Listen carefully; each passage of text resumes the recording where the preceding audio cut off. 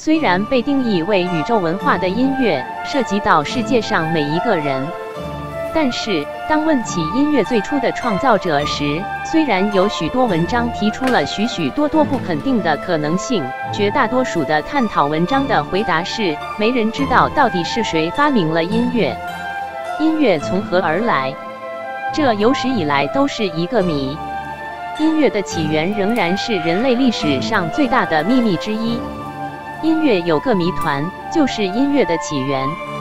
让我们共同探讨，来发现音乐的创造者。